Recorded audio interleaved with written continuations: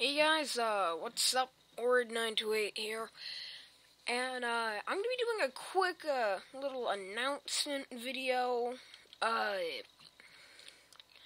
because what I've been wanting to do is that I wanted to do this so that way I can tell you guys I want to be taking a break for a while. Because, uh, I'm starting to get really tired and really sick. So, now it's not that I don't like making videos for you guys. I really love making videos for you. It's just that I'm starting to get really tired and I'm getting really sick. The weather where I'm at is just horrid. Uh, and also, I wanted to address this. I switched over to Bandicam so that way I I had to make a choice between the other recording software and this. I chose this because I have the split button, and unlike the other recording software, it doesn't make my stuff lag horribly. Horribly? Horribly. Ugh. Yeah, so... Um... Yeah, it's really all to it. Um.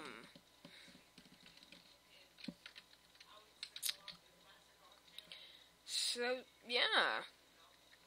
That's really all I have to say for the moment. And.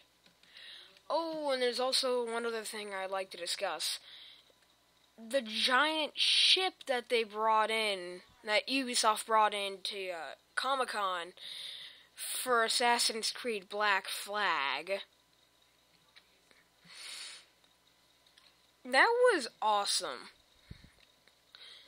Even though I didn't even go to Comic Con, it still looked really cool. And I know some people who were saying that was completely unneeded, and they were saying that uh, they're taking out of the game's budget, and I kept giving them the same answer. They have a game budget, and then they have a presentation, and they have a marketing budget.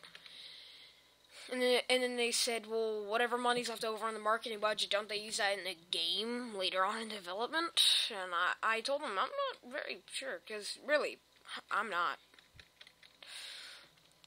And, uh, ugh, man.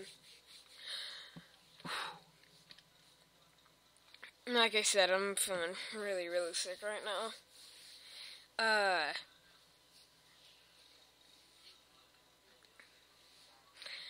uh, there's, and I told them I don't know, but if you're in com- a place oh, like Comic Con or PAX Prime or PAX East or PAX West or something like that, if your game doesn't have an awesome uh, demonstration or something like that, then no one's gonna bother going over to it, and they're just gonna think that the game's really bland and really boring, and they're not. Some people they, some people may even be discouraged from buying the game.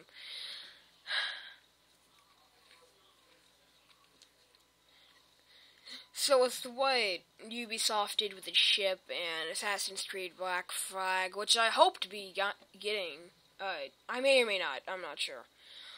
Uh, because Assassin's Creed 1 was a little hit or miss for me. Assassin's Creed 2 uh, it was more of a hit than miss, but it, there was still some iffy places. Assassin's Creed Brotherhood was pretty good. Revelations was really good. Assassin's Creed 3 was an okay game. Mm, you know, with the Assassin's Creed standards. I just didn't like it all that much. The music, uh, music was really just like, to me it was a little stock, but it was still a good game.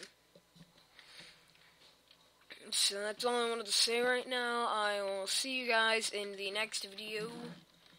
Goodbye.